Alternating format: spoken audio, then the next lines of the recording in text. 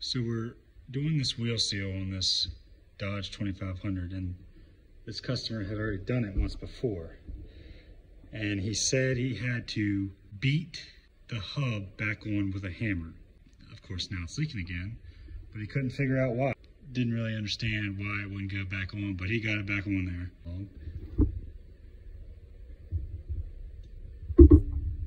Don't know if we'll be able to see it.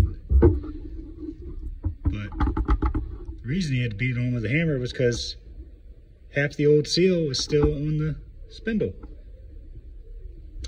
So uh, sometimes it pays to pay somebody.